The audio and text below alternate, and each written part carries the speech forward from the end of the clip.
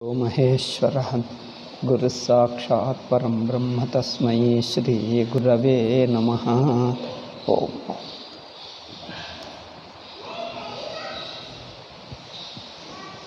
ಅಲ್ಲಿ ಚಿತಿ ಹತ್ತಿರಕ್ಕೂ ಶವವನ್ನು ತಗೊಂಡು ಹೋದ ನಂತರ ಕರ್ಕೊಂಡು ಹೋದ ನಂತರ ಅಲ್ಲಿ ಏನೇನೋ ಕೆಲವು ಕ್ರಿಯೆಗಳಿವೆ ಈಗ ನೇರಾಗಿ ಶವವನ್ನು ಸುಟ್ಟು ಹಾಕುವ ಅಲ್ಲೇ ಅಲ್ಲಿಗೆ ಬಂದಿದ್ದೇವೆ ಅಗ್ನಿ, ಯಾವ ಅಗ್ನಿ ಇರಬೇಕು? ಅಗ್ನಿ ಕುರಿತು ಸ್ವಲ್ಪ ಹೇಳಿದ್ದೇವೆ. ಕ್ರವ್ಯಾದ ಅಗ್ನಿ? ಬೇರೆ ಅಶುಚಿ ಅಗ್ನಿ ತರಬಾರದು. ಶುದ್ಧವಾದ ಅಗ್ನಿ ಇರಬೇಕು. ಪೂರ್ವೋಕ್ತೈ ಪಂಚಪಿಪಿಂಡೈ ಅದೆಲ್ಲ ಆಯಿತು. ಸಂಸೃಜ್ಯ ಚೋಪಲಿಪ್ಯಾತ ಬುಲ್ಯಕ್ಯೋದೃತ್ಯ ವೇದಿಕಾಂ. ಅಭ್ಯುಕ್ಷೋಪ ಸಮಾಧಾಯ ಬನ್ನಿಂತತ್ರ ವಿಧಾನತಃ. ಪುಷ್ಪಿತಾಕ್ಷೈಶ್ಚ ಸಂಪೂಜ್ಯ ದೇವ್ಯಂ ದೇವಂ ಕವ್ಯಾದ ಸಂಜ್ಞಕಂ ಅಗ್ನಿಯನ್ನು ಮೊದಲು ಏನದು ಗೋಮಯದಿಂದ ಲೇಪನ ಮಾಡಿ ಅದಕ್ಕೆ ರಂಗವಲ್ಲಿ ಹಾಕಿ, ಅದರ ಮೇಲೆ ಅಗ್ನಿಯನ್ನು ಪ್ರಜ್ವಲನ ಮಾಡಿ, ಆ ಅಗ್ನಿಗೆ ಪೂಜಾ ನಮಸ್ಕಾರ ಮಾಡಿ, ಸಂಪೂಜ್ಯ ದೇವಂ ಕ್ರವ್ಯಾದ ಸಂಜ್ಞಕಂ ಕ್ರವ್ಯಾದ ಎಂಬ ಅಗ್ನಿಯನ್ನು ಪೂಜೆ ನಮಸ್ಕಾರ ಮಾಡಿ, ಶ್ರೌತೇನುತ ವಿಧಾನೇನ ಶಾಹಿತಾಗ್ನಿಂ ದಹೇದ್ಬುಧ. ಶ್ರೌತ ವಿಧಾನದಿಂದ, ಅಂದರೆ ವೇದಮಂತ್ರಕ್ಕೆ ಅನುಗುಣವಾಗಿ. ಚಂಡಾಲಾಗ್ನಿ, ಚಿತಾಗ್ನಿ, ಪತಿತಾಗ್ನಿ, ನೋಡಿ. ಚಂಡಾಲ ಮನೆಯಲ್ಲಿರುವ ಅಗ್ನಿ ಉಪಯೋಗ ಅಲ್ಲ. ಚಿತಾಗ್ನಿ, ಇನ್ನೊಬ್ಬರನ್ನು ಸುಟ್ಟು ಹಾಕಿದ್ದು ಆ ಅಗ್ನಿ ಅಲ್ಲ. ಪತಿತಾಗ್ನಿ, ಯಾರು ಧರ್ಮವನ್ನು ಬಿಟ್ಟು ಪತಿತರಾಗಿದ್ದರೋ ಅವರ ಮನೆಯ ಅಗ್ನಿಯೂ ಅಲ್ಲ. ತಗೊಳ್ಳಬಾರದು. ಪತಿತಾಗ್ನಿಯೂ ಅಲ್ಲ.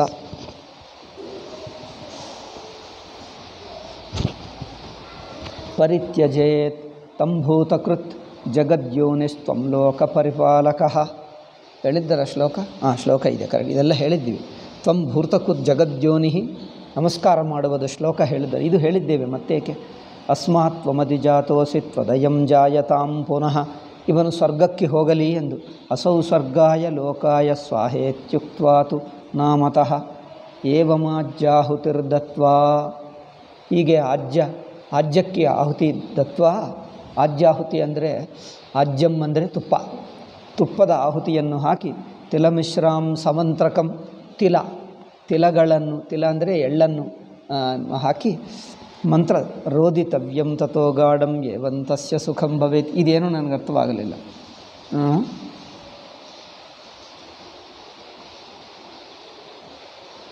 ಅಂದರೆ ನಿಮ್ಮ ಅನುಗ್ರಹದಿಂದ ಅವರಿಗೆ ಈ ಈ ದೇಹವನ್ನು ತಗೊಂಡು ನೀವು ಒಳ್ಳೆಯ ದೇಹವನ್ನು ಮತ್ತು ಅವರಿಗೆ ಸದ್ಗತಿಯನ್ನು ಕೊಡಿ ಎಂದು ಆ ಅಗ್ನಿ ದೇವರನ್ನು ಬೇಡ್ಕೊಳ್ತಾ ಬೇಡ್ಕೊಳ್ಳಿದ ನಂತರ ತಿಲಮಿಶ್ರಿತ ಅಂದ್ರೇನು? ಎಳ್ಳು ತುಪ್ಪ. ಎಳ್ಳು ತುಪ್ಪ ಮಿಶ್ರಮ ಮಾಡಿ ಆ ಅಗ್ನಿಗೆ ಆಹುತಿ ಕೊಡಬೇಕಂತೆ.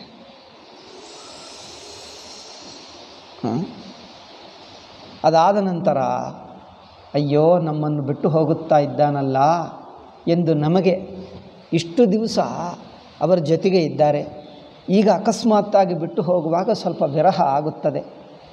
ಈಗ ಕೆಲಸ ಮುಗಿಯಿತಲ್ಲ, ಶವವನ್ನು ಇಟ್ಟಿದ್ದಾರೆ ಅಗ್ನಿಯಲ್ಲಿ. ಈಗ ಅದು ಸುಡುತ್ತಾ ಇರುವಾಗ ಆವಾಗ ಅನಿಸುತ್ತದೆ. ಅಯ್ಯೋ, ಈಗ ಈಗ ಸುಟ್ಟು ಹೋಗ, ಇಷ್ಟೊತ್ತೂ ಶವವಾದರೂ ಕಂಡುಬರುತ್ತಿತ್ತು ಶವ ಅಂದರೆ ಪ್ರಾಣ ಹೋಯ್ ಹೋದರೂ ಆ ಶರೀರದ ಮುಖ ಕಂಡು ಬರುತ್ತದೆ. ಈಗ ಅದು ಸುಟ್ಟು ಹೋಗ್ತಾ ಇದೆ, ಇನ್ನು ಮೇಲೆ ಅದು ಕಂಡು ಬರಲ್ಲ. ಕಂಡು ಬರಲ್ಲ ಅಲ್ಲವೇ? ಅರವತ್ತೆಂಟು.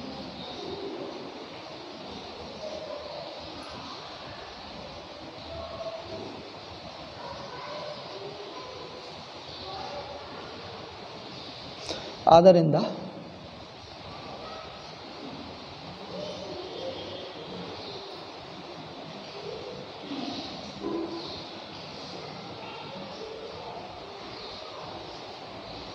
ನಮಗೆ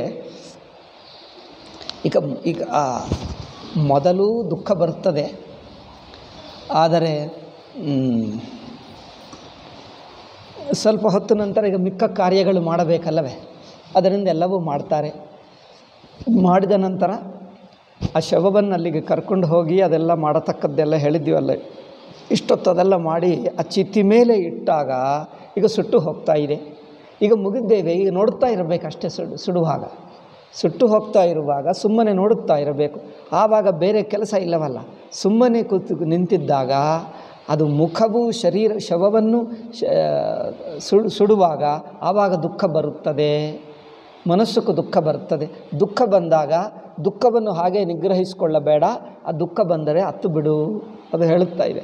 ಆವಾಗ ಬೇರೆ ಕಾರ್ಯ ಮಾಡುತ್ತಾ ಇದ್ದರೆ ಅಡ್ಡಿ ಆಗ್ತದೆ. ಈಗ ಏನು ಕೆಲಸ ಇಲ್ಲ ನಿಂತುಕೊಂಡಿರುವುದೇ ಈಗ ಇವಾಗ ಬೇಕಂದರೆ ನಿಮಗೆ ಮನಸ್ಸಿಗೆ ದುಃಖ ಬಂದರೆ ಅದನ್ನು ಸುಮ್ಮನೆ ಮನಸ್ಸಿನಲ್ಲಿ ಇಟ್ಕೊಳ್ಳಬೇಡ, ಅದನ್ನು ಅಳ ಅಳ, ಅಳಬಹುದು ಅಳಬಹುದು ಎಂದು ಹೇಳ್ತಾನೆ.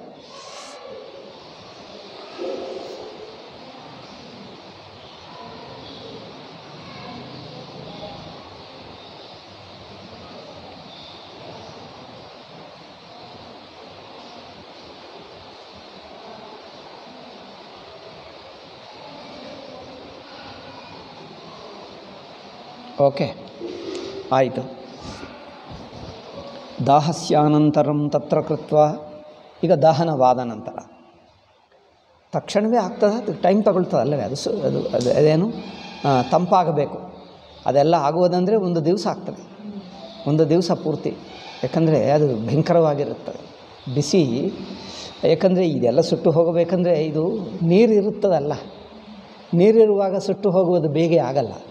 ಇದೆಲ್ಲ ಒಣಗಿ ಹೋದರೆ ಬೇಗ ಸು, ಬೇಗ ಸುಟ್ಟು ಹೋಗ್ತದೋ ಏನೋ. ಆದರೆ ಇದೆಲ್ಲ ನೀರಿರುತ್ತದೆ ಬೇಗ ಆಗಲ್ಲ. ರಕ್ತ, ಮಾಂಸ ಎಲ್ಲ ಇರುತ್ತದಲ್ಲ. ತುಂಬ ಟೈಮ್ ತಗೊಳ್ತದೆ. ಅದರಿಂದ ಹೆಚ್ಚು ಕಟ್ಟಿಗೆ ಕೊಡಬೇಕು, ದೊಡ್ಡ ಬೆಂಕಿ ಮಾಡಬೇಕು. ಟೈಮ್ ತಗೊಳ್ತದೆ.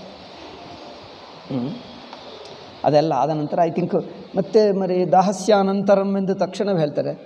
ನಾ ದಾಹಸ್ಯಾನಂತರಂ ಅರವತ್ತೇಳು. ಅರವತ್ತೇಳದಲ್ಲವೇ?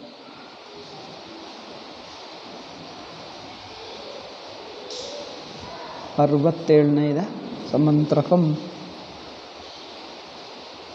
ಹಾಂ ಅನಂತರಂ ಅಂದರೆ ಈಗ ಯಾವಾಗಲೂ ಮನೆಗೆ ಹೋಗಿ ಬಂದು ಮರು ಮರು ದಿವಸ ತತ್ರ ಕೃತ್ವ ಸಂಚಯನ ಕ್ರಿಯೆ ಸಂಚಯನಿಕಾಂ. ಸಂಚಯನ ಕ್ರಿಯ. ಮೂಲೆಗಳನ್ನು ಸಂಚಯಕ್ಕೆ ಏನು ಹೇಳ್ತಾರೆ ಕೂಡ ಹಾಕೋದು. ಹಾಂ ದಟ್ಸ್ ಬೆಟರ್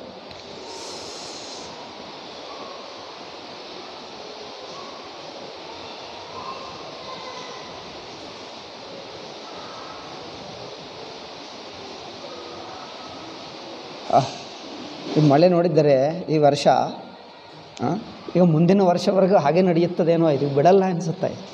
ನೋಡಿ, ಈ ಈ ಸಲ, ಈ ವರ್ಷದಲ್ಲಿ ಇಡೀ ಭಾರತ ದೇಶ ಪಾಕಿಸ್ತಾನ ಅಂದರೆ ಭಯಂಕರವಾಗಿ. ಗುಜರಾತು ಎಲ್ಲ ಕಡೆ, ಉತ್ತರ ಪ್ರದೇಶ ಎಲ್ಲಿ ಬಿಡ್ತಾ ಇಲ್ಲ, ಎಲ್ಲ ಕಡೆ ಹೆಚ್ಚಾಗ್ತಾ ಇದೆ. ಏನಿದು, ಒಂದೊಂದು ಸಲ ಕಡಿಮೆ ಇರ್ತದೆ, ಒಂದೊಂದು ಸಲ ತುಂಬ ಹೆಚ್ಚಾಗಿ ಬಿಡ್ತದೆ. ಈ ಸಲ ಹೆಚ್ಚಾಗ್ತಾ ಇದೆ ನೋಡಿ, ಬಿಡ್ತಾನೇ ಇಲ್ಲ.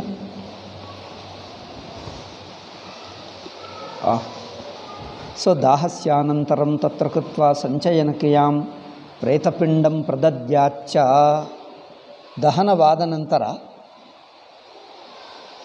ಓಹೋ, ಅಗ್ನಿಪೀಡ. ದಾಹಪೀಡ ಅಂದರೆ ಅಗ್ನಿಪೀಡ. ಪ್ರದದ್ಯಾ ದಾಹಾರ್ತಿ ಶಮನಂ ಸದ.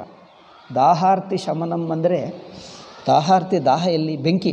ಆ ಬೆಂಕಿ ತಂಪಾಗುವುದಕ್ಕೆ ಅಲ್ಲಿ ಒಂದು ಮತ್ತೆ ಪಿಂಡ ಹಾಕಬೇಕಂತೆ.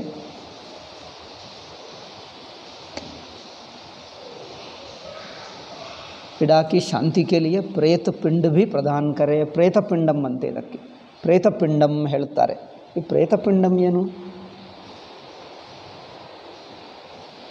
ತುಂಬ ಇದೆಪ್ಪ ಯಾಕಂದರೆ ಇದು ಬೇರೆ ಯಾವ ಪುಸ್ತಕದಲ್ಲಿ ಇಲ್ಲ ಅದಕ್ಕೋಸ್ಕರ ನಾವೆಲ್ಲ ನೋಡಿ ನೋಡಿ ನೋಡಿ ಮಾಡಬೇಕು ಪ್ರೇತ ಪಿಂಡಂ ಪ್ರದದ್ಯಾಚ್ಚ ದಾಹಾರ್ತಿ ಶಮನಂ ಖಗ ದಾಹ ಯಾರಿಗೆ ದಾಹ ಅಗ್ನಿಯ दाह की पीड़ा की शांति के लिए ಅರವತ್ತೇಳು ನಂತರ ಅರವತ್ತೆಂಟು ಆಯ್ತಲ್ಲ ರೋದಿತವ್ಯಂ ದಾಹಸ್ಯಾನಂತರಂ ತತ್ವಾಕೃತ್ಯ ಸಂಚಯನ ಕ್ರಿಯಾಂ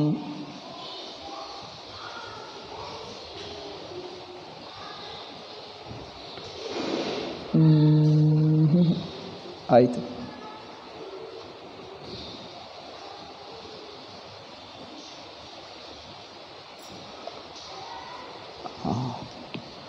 ದಾಹಕಿ ಪೀಡಾ ಅರವತ್ತೆಂಟನೇ ಶ್ಲೋಕ. ಇಲ್ಲಿ ನೋಡ್ತೀನಿ ಇವರೇನು ಹೇಳ್ತಾರೆ. ಹೋ ವೆನ್ ಬ when the body is half burnt ಅರ್ಧ ದಗ್ಧೆ ಇಲ್ಲೇನು ಎಕ್ಸ್ಟ್ರಾ ಶ್ಲೋಕ ಇದೆ? ಅರ್ಧ ದಗ್ಧೆ ಅರ್ಧದಗ್ದೇ ಇಲ್ಲಿ ಶ್ಲೋಕ ಇಲ್ಲ, ಅರವತ್ತಾರು ಇದೆಯಾ? ಓ, ಅದು ಹೇಳಿದ್ದೇವೆ ನಾವು. ಅದು ಸ್ತೋತ್ರ ಆಯಿತು. ಸ್ವಾಹ he should decide this mantra announcing the name of the disease in both ಓಹೋ ಅಸೌ ಸ್ವರ್ಗಾಯ ಲೋಕಾಯ ಸ್ವಾಹೇತ್ಯುಕ್ವಾತು ನಾಮತಃ ಅವರ ಹೆಸರು ತಗೊಂಡು ಇವನಿಗೆ ಸ್ವರ್ಗವಾಗಲಿ ಎಂದು ಹೇಳಬೇಕಂತೆ. ಅದು ಹೇಳಿದ್ವಲ್ಲ ಆಯ್ತು ಅದು ಜಿಂಜಿಲಿ, ಇದಾಯಿತು. Relative ಎಪ್ತಿನ್ this gives comfort to the departed soul okay after cremating the corpse the rite of collection should be done there collection ಅಂದರೆ ಆ ಬೋನ್ಗಳು ಅರವತ್ತೆಂಟು. ದಾಹಸ್ಯಾನಂತರಂ ತತ್ವಕೃತ್ವ ಸಂಚಯನ ಕ್ರಿಯಾಂ. ಈಗ ಅರವತ್ತೊಂಬತ್ತು.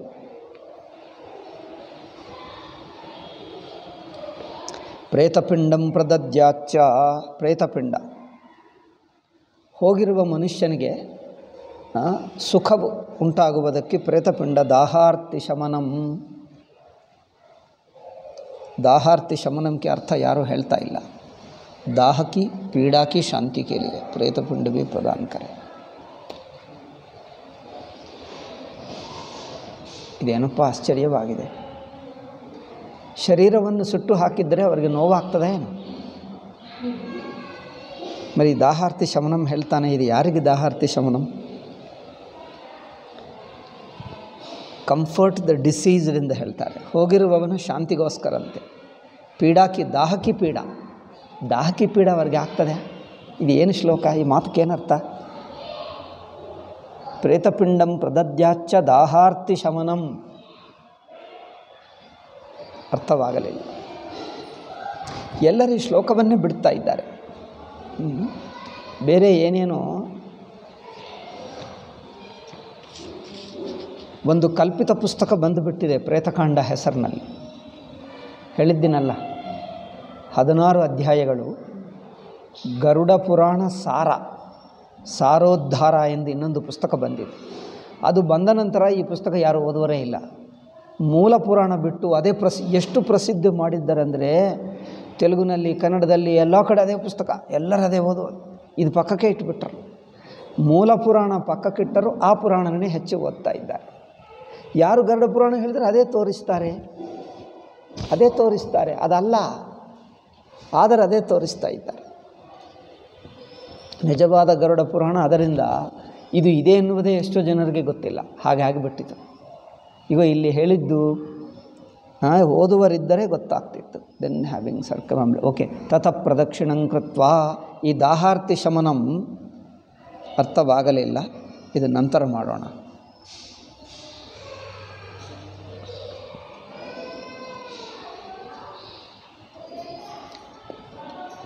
ಪ್ರೇತಪಿಂಡ ತತ್ಪಶ್ಚಾತ್ ತತಃ ಪ್ರದಕ್ಷಿಣಾಂಕೃತ್ವ ಚಿತ ಚಿತಾಪ್ರಸ್ಥಾನ ವೀಕ್ಷಕಾ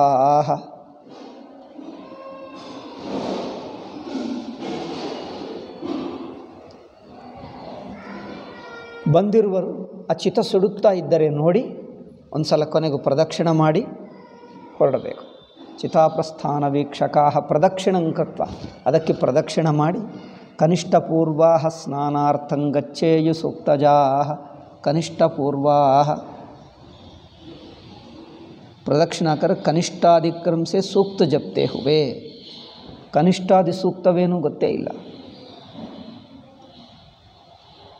ಹಾಂ ಹಾಂ ವಿದ್ದ. ಯೂತ್ ಮಾರ್ಚಿಂಗ್ ಹೆಡ್ ಈ ಕನಿಷ್ಠಾದಿ ಸೂಕ್ತವೇನೋ ಅದು ಗೊತ್ತಿಲ್ಲ ನಮಗೆ. ಕನಿಷ್ಠ ಪೂರ್ವ ಸ್ನಾನಾರ್ಥಂಗಚ್ಚ ಓಹೋ ಕನಿಷ್ಠ ಪೂರ್ವ ಅಂದರೆ ಚಿಕ್ಕವರು ಮೊದಲು ಹೋಗಬೇಕಾ ಏನದು? ಸೂಕ್ತ ಜಪ್ತೆ ಹುವೆ, ಸ್ನಾನ ಕೆ ಲಿಯೆ ಜಲಾಶಯ ಆದಿ ಪರ್ ಜಾಯ್ ಓಹೋ, ನದಿಗೆ ಹೋಗಬೇಕು, ನದಿ ಆದರೂ ಅಥವಾ ಕೆರೆ, ಅಲ್ಲಿಗೆ ಸ್ನಾನ. ಸಾಮಾನ್ಯವಾಗಿ ಅಲ್ಲಿ ಹೋಗಿರೋ ಮತ್ತೆ ಮನೆಗೆ ಬಂದು ಬರಲ್ಲ, ಸ್ನಾನ ಮಾಡೇ ಬರ್ತಾರೆ, ಅಲ್ಲವೇ? ಅದರಿಂದ ನದಿಯೋ, ಕೆರೆನೋ ಅಂಥದ್ದೇನಾದರೂ ಇದ್ದರೆ ಅಲ್ಲಿ ಸ್ನಾನ ಮಾಡಿ ಬರಬೇಕು. ಈ ಕಾಲದಲ್ಲಿ ಯಾವ ನದಿ ಇಡ್ತಾ ಇಲ್ಲ, ಅಲ್ಲವೇ? ನದಿ ಇಲ್ಲ. ಈಗ ಸ್ಪೆಷಲ್ ಅದಕ್ಕೋಸ್ಕರ ಸ್ವಿಮ್ಮಿಂಗ್ ಪೂಲ್ ಹಾಗೆ ಇದೊಂದು ಸ್ನಾನ ಪೂಲ್ ಮಾಡಿಕೊಳ್ಳಬೇಕು. ಈ ಕಾಲದಲ್ಲಿ ಎಲ್ಲಿ ನದಿ ಸಿಗ್ತಾ ಇಲ್ಲವಲ್ಲ, ಮತ್ತೇನು ಮಾಡೋದು? ನದಿ ಏನು ಸಿಗ್ತಾ ಇಲ್ಲ, ಕೆರೆ ಇಲ್ಲ, ಎಲ್ಲವೂ ಎಲ್ಲವೂ ಒಣಗಿ ಹೋಗ್ತಾ ಇವೆ ಇವ ಈ ಸಲ ಹೆಚ್ಚು ನದಿಗಳಾಗ್ತವೆ. ಹೆಚ್ಚು ನದಿಗಳು ಈ ಸಲ ವರ್ಷ ಹೆಚ್ಚಿದೆ. ಎಲ್ಲ ಕಡೆ ಕೆರೆ ಕೆರೆ ಕೆರೆ ಹಿಡಿಯ. ಭಾರತ ದೇಶದಲ್ಲಿ ಕೆರೆಗಳು ಹೆಚ್ಚಾದರೆ ನಾವು ಇನ್ನು ಮೇಲೆ ಎಕ್ಸ್ಪೋರ್ಟ್ ಮಾಡಬಹುದು ವಾಟರ್. ವಿದೇಶಕ್ಕೆ ಎಕ್ಸ್ಪೋರ್ಟ್ ಮಾಡಬಹುದು, ಅರಬಿಸ್ತಾನ್ಗೆ. ಅವ್ರಿಗೆ ನೀರು ಕಡಿಮೆ ಅಲ್ಲವೇ? ನಿಮಗೆ ನೀರು ಹೆಚ್ಚಾಗಿಬಿಟ್ಟಿದೆ. ಹ್ಞೂ ಅವ್ರು ಪೆಟ್ರೋಲ್ ನಮಗೆ ಕೊಟ್ಟರೆ ನಾವು ನೀರು ಕೊಟ್ಟರೆ ಖರ್ಚು ಆದರೆ ಆಗುತ್ತದೆ, ಇಲ್ಲದೇ ಅವ್ರಿಗೆ ನೀರು ಕಡಿಮೆ, ನಾವು ಇಲ್ಲಿಂದ ನೀರು ಎಕ್ಸ್ಪೋರ್ಟ್ ಮಾಡೋಣ, ಪೆಟ್ರೋಲ್ ತಗೊಂಡು ಬರೋಣ ನಮ್ಮ ಪೆಟ್ರೋಲ್ ಖರ್ಚಾದರೆ ಉಳಿ ಅವ್ರಿಗೆ ಹೇಳೋಣ, ನಿಮಗೆ ಪೆಟ್ರೋಲ್ ಖರ್ಚು ಬೇಕಂದ್ರೆ ನಾವು ನೀರು ಕೊಡ್ತೀವಿ. ನೀರು ಬೇಕಾದಷ್ಟಿದೆ, ಹೆಚ್ಚಾಯಿತು. ಏನು ಮಾಡಬೇಕೋ ಇದೆ ಅಂಥದ್ದಿದ್ದರೆ ಒಳ್ಳೆಯದು. ಕನಿಷ್ಠ ಪೂರ್ವ ಸ್ನಾನಾರ್ಥಂ. ಕನಿಷ್ಠ ಪೂರ್ವ ಅಂದರೆ ಏನು ಗೊತ್ತಾಗಲಿಲ್ಲ. ಓಹೋ ಹಾಂ ಕನಿಷ್ಠ ಪೂರ್ವ ಅಂದರೆ ಚಿಕ್ಕವರು ಮೊದಲು ಹೋಗಬೇಕಂತೆ. ಓ, ಅಂಥದ್ದು ಮಾಡ್ತಾರ? ಚಿಕ್ಕವರು ಮೊದಲು ಹೋಗಬೇಕಂತೆ, ಹಿರಿಯರು ಹಿಂದೆ ಇರಬೇಕಂತೆ. ಅಲ್ಲಿಂದ ಸ್ನಾನ ಮಾಡುವಕ್ಕೆ ಹೋದಾಗ ಚಿಕ್ಕವರು ಮೊದಲು ಹೊಳಬೇಕು ಹಿರಿಯರು ನಂತರ ಹೋಗಬೇಕು. ಕನಿಷ್ಠ ಪೂರ್ವಕ ಹೇಳ್ತಾ ಇದ್ದಾರೆ. ಅದೇ ನನ್ನ ಕನಿಷ್ಠ ಪೂರ್ವ ಅರ್ಥವಾಗಲಿಲ್ಲ. ಕನಿಷ್ಠ ಪೂರ್ವ. ಚಿಕ್ಕ ಚಿಕ್ಕ ಮಕ್ಕಳು, ಚಿನ್ನ, ಅವರು ಮೊದಲು ಹೋಗಬೇಕು. ಸಣ್ಣ ಮಕ್ಕಳು ಹೋಗಲ್ಲ ಅನಿಸುತ್ತದೆ. ಹೋಗ್ತಾರಾ? ಸಣ್ಣ ಮಕ್ಕಳನ್ನ ಹೋಗ ಈಗ ಹೆದರ್ಕೊಳ್ತಾರೆ ಭಯಗೊಳ್ತಾರೆ ಎಂದು ಅವ್ರನ್ನ ಕರ್ಕೊಂಡು ಹೋಗಲ್ಲ. ಆಯ್ದು, ಆಯಿತು ಹೋಗಿರುವರಲ್ಲಿ ವಯಸ್ಸು ಯಾರಿಗೆ ಕಡಿಮೆ ಇರುತ್ತೋ ಅವ್ರು ಮೊದಲು ಹೋಗಬೇಕು, ಹಿರಿಯರ ಹಿಂದೆ ಇರಬೇಕು. ಅದು. ಕನಿಷ್ಠ ಪೂರ್ವ ಸ್ನಾನಾರ್ಥಂಗಚ್ಚೆಯು ಒಂದು, ಇಲ್ಲಿ ನೋಡಿ, ಆ ಸಮಯದಲ್ಲಿ ವೇದಮಂತ್ರ ಹೇಳಬಹುದಾ? ಅವರು ಸೂಕ್ತ ಹೇಳ್ತಾ ಹೋಗಬೇಕು ಹೇಳ್ತಾನೆ ನೋಡಿ. ವೇದಮಂತ್ರ ಹೇಳ್ತಾ ಹೋಗಬೇಕು ಹೇಳ್ತಾನೆ. ಅಂದರೆ ವೇದಮಂತ್ರ ಇಲ್ಲದಿದ್ದರೆ ಶ್ಲೋಕ. ಏನಾದರೂ ಶ್ಲೋಕ, ಸ್ತೋತ್ರ ಯಾವುದಾದರೂ ಗೊತ್ತಿದ್ದರೆ ಅದನ್ನು ಹೇಳುತ್ತಾ ಹೋಗಬೇಕಂತೆ. ಆಯಿತು. ಸ್ನಾನ ಕೇಳಿಯಲ್ಲ ಜಾಯ್ ಸಿಕ್ಸ್ಟಿ ಏಯ್ತ್ ಶ್ಲೋಕ ಆಯಿತು. ಸಿಕ್ಸ್ಟಿ ನೈನ್ ಕನಿಷ್ಠ ಪೂರ್ವ ಏನಪ್ಪ ಶ್ಲೋಕ ಸಂಖ್ಯೆ ಹಿಂದೆ ಮುಂದೆ? ಏನರ್ಥವೇ ಆಗಲ್ಲ. ಕನಿಷ್ಠ ಪೂರ್ವ ಎಪ್ಪತ್ತನೆಯದು. ಪ್ರದಕ್ಷಿಣಾಂಕೃತ್ವ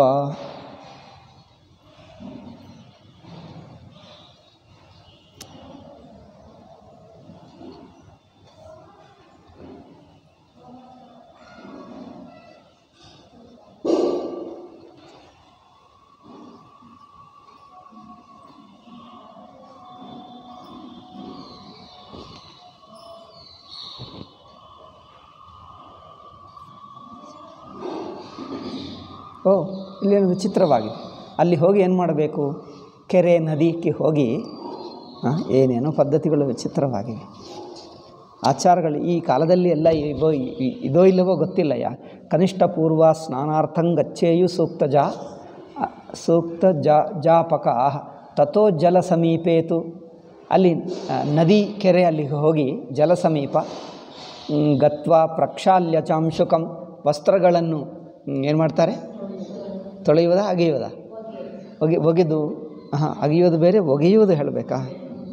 ಅಗೆಯೋದು ಒಗೆಯೋದು ಬೇರೆನಾ? ನನಗೂ ಗೊತ್ತಿಲ್ಲ. ಹಾಂ ಒಗೆಯೋದು ಅಗೆಯುವುದು ಎರಡು ಬೇರೆನಾ? ಒಗೆ ಅಂದರೆ ವಾಶ್. ಅಗೆ ಅಂದರೆ ಬೇರೆನಾ? ಹೌದು.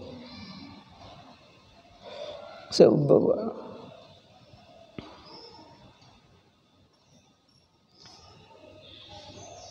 ಸೊ ಪುಸ್, ಮೊದಲು ಬಟ್ಟೆಗಳನ್ನು ಒಗೆದು ಅದೇ ಬಟ್ಟೆ ಹಾಕ್ಕೊಳ್ಳಬೇಕಂತೆ. ಹಾಗೆ ಮಾಡ್ತಾರೆ? ಓ, ಅದು ಗೊತ್ತಿಲ್ಲ ನನಗೆ. ಅಯ್ಯೋ ರಾಮ್. ಹೌದು, ಏಕೆಂದರೆ ಹೋಗುವಾಗ ಬಟ್ಟೆ ಎಲ್ಲ ತಗೊಂಡು ಸೂಟ್ ಕೇಸ್ ಎಲ್ಲ ತಗೊಂಡು ಹೋಗಲ್ಲವಲ್ಲ?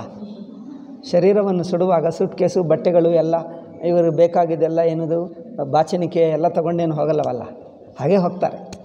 ಮತ್ತು ಹಾಗೆ ಹೋಗಿದ್ದರೆ ಸ್ನಾನ ಮಾಡಿದಾಗ ಆವಾಗ ನಿಜವಾಗಿ ಸನ್ಯಾಸಿಗಳಾಗುತ್ತೆ ಬೇರೆ ಬಟ್ಟೆನೇ ಇಲ್ಲ, ಅದೇ ಹಾಕ್ಕೊಳ್ಳಬೇಕು. ಅಲ್ವ ಆವಾಗ ಸನ್ಯಾಸಿಗಳು ಆಗ್ತಾರೆ ನಿಜವಾಗಿ, ಅದು ಚೆನ್ನಾಗಿದೆ. ಅವ್ರಿಗೆ ಸ್ವಲ್ಪ ಸನ್ಯಾಸಿಗಳ ಅನುಭವ ಆಗಲಿ, ಹೇಗಿರುತ್ತದೆ ಎಂದು. ಇಲ್ಲದಿದ್ದರೆ ಎಲ್ಲ ಎಲ್ಲಿಂದ ತಗೊಂಡು ಹೋಗಬೇಕು? ಮನೆಯಲ್ಲೆಂದರೆ ಎಲ್ಲ ಸೌಕರ್ಯ ಇರ್ತದೆ ಅಲ್ಲೇನು ಸಾಬನ್ ಗೀಬನ್ ಏನಿರಲ್ಲ ಸುಮ್ಮನೆ ನೀರಿನಲ್ಲಿ ಸ್ನಾನ ಮಾಡಬೇಕಷ್ಟೇ. ನಾನು ನಿಮಗೇನು ಬಾಚನಿಕೆ ಇಲ್ಲ ಇನ್ನೇನೂ ಇಲ್ಲ. ಹೇಗಿದ್ದರೆ ಹಾಗೆ ಹಾಕ್ಕೊಳ್ಳಬೇಕು. ಏಕೆಂದರೆ ಕಷ್ಟ ಅಲ್ಲವೇ? ನೀವು ಮೊದಲು ಅಶುಚಿ ಇರ್ತೀರಿ. ಈಗ ಬೇರೆ ಶು, ಶುದ್ಧ ಬಟ್ಟೆ ಮುಟ್ಟಬೇಕಾದರೆ ಶುದ್ಧ ಬಟ್ಟೆ ಅದು ಅಶುಚಿ ಆಗಿಬಿಡ್ತದೆ. ಸ್ನಾನ ಮಾಡಿದ ನಂತರ ಈ ಒದ್ದೆ ಬಟ್ಟದಿಂದ ಹಾಗೆ ಮನೆಗೆ ಬರಬೇಕಾ? ಕಷ್ಟ ಆಗ್ತದೆ. ಅದರಿಂದ ಏನು ಮಾಡಬೇಕು? ಅದೇ ಬಟ್ಟೆಯನ್ನು ಅಲ್ಲೇ ಅಗೆದು, ಅಲ್ಲೇ ಒಗೆದು, ಅದೇ ಹಿಂಡಿ, ಅದೇ ಹಾಕ್ಕೊಂಡು ಬರಬೇಕು. ಆಹ್ ಈ ಪದ್ಧತಿ ಚೆನ್ನಾಗಿದೆ. ಸೊ, ಗತ್ವ ಪ್ರಕ್ಷಾಲ್ಯ ಚಾಂಶುಕಂ ಪರಿಧಾಯ. ಈಗಿನ ಕ, ಈಗಿನವರು ಹೀಗೆ ಮಾಡ್ತಾರಾ ಅಥವಾ ಇನ್ನೊಂದು, ಇನ್ನೊಬ್ಬರು ಜೊತೆಗೆ ಬರ್ತಾರೇನೋ? ಹಾಂ ಹಾಗೆ ಬರ್ತಾರಾ? ಓ ಆಯಿತು. ಮತ್ತು ಅಮೆರಿಕ ಅಂತ ದೇಶದಲ್ಲಿ ಅವ್ರು ಮಾಡಲ್ಲ ಅನಿಸುತ್ತೆ. ಅಥವಾ ಅವ್ರೇನು ಮಾಡ್ತಾರೋ ಗೊತ್ತಿಲ್ಲ. ಅಥವಾ ಅವ್ರ ಶವವನ್ನು ಇನ್ನೊಬ್ಬರಿಗೆ ಕೊಟ್ಬಿಟ್ಟು ಇಲ್ಲೇ ಮನೆಯಲ್ಲಿ ಇರ್ತಾರ ಏನು ಮಾಡ್ತಾರೋ ಗೊತ್ತಿಲ್ಲ. ಪರಿಧ, ಅಲ್ಲಿ ನದಿಯಲ್ಲಿ ಸ್ನಾನ ಮಾಡೋಕ್ಕೆ ಬಿಡಲ್ಲ. ಬಿಡ್ತಾರ? ಸ್ನಾನ? ಅಮೆರಿಕದಲ್ಲಿ ಬಿಡಲ್ಲ. ಆಯಿತು. ಪರಿಧಾಯ ಪುನಸ್ತಚ್ಚ ಬ್ರೂಯಸ್ತಂ ಪುರುಷಂ ಪ್ರತಿ. ಅದೇ ಬಟ್ಟವನ್ನು ಅಗೆದು ಒಗೆದು ಮತ್ತೆ ಅದನ್ನು ಹಿಂಡಿ ಅದೇ ಹಾಕ್ಕೊಳ್ಳಬೇಕು. ಬಿಸಿಲು ಕಾಲ ಆದರೆ ಸ್ವಲ್ಪ ಬೇಗ ಆಗ್ತದೆ. ಚಳಿಕಾಲ? ಅದನ್ನೇ ಹಾಕ್ಕೊಂಡು ಬರಬೇಕಾ? ಹೇಳಿ ನೆಂಟರಿಗೆ, ಚಳಿಕಾಲ ಯಾರು ಪ್ರಾಣ ಬಿಡಬೇಡಿ. ನೀವು ಬಿಸಿಲು ಕಾಲನೇ ಪ್ರಾಣ ಬಿಡಿ. ನೀವು ಚಳಿಗಾಲ ಬಿಟ್ಟರೆ ನಮ್ಮ ಗತಿ ಹೀಗಾಗ್ತದೆ. ಅಲ್ಲವೇ, ಕಷ್ಟ ಆಗ್ತದೆ. ಅಥವಾ ಬೇರೆ ಯಾರಾದರೂ ನೆಂಟರಿಗೆ ದೂರವರಿಗೆ ಹೇಳಬೇಕು, ಮನೆಯಲ್ಲಿರೋ ಬಟ್ಟೆಗಳು ನೀವೇ ತೊಗೊಂಡು ಬನ್ನಿ ಅಲ್ಲಿಗೆ, ಮತ್ತು ಇಲ್ಲದಿದ್ದರೆ ಆ ಚಳಿ ಬಟ್ಟೆಯಲ್ಲಿ ಹೇಗೆ ಹಾಕ್ಕೊಂಡು ಬರೋದು? ಅಯ್ಯೋ ಪಾಪ, ತುಂಬ ಕಷ್ಟ. ಪರಿದಾಯ ಪುನಸ್ತಚ್ಚ ಬ್ರೂಯಸ್ತಂ ಪುರುಷಂ ಪ್ರತಿ.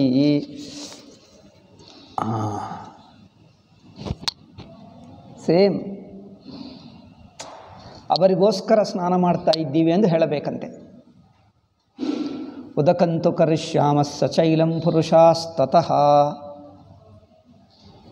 ನಾವು ನಿಮಗೋಸ್ಕರನೇ ಸ್ನಾನ ಮಾಡ್ತಾ ಇದ್ದೀವಿ ಎಂದು ಅವರ ಹೆಸರಿನಲ್ಲಿ ಸ್ನಾನ. ಅಂದರೆ ನೀವು ಮಾಡಿರುವ ಸ್ನಾನದ ಪುಣ್ಯ ಅವರಿಗೆ ಹೋಗಲಿ.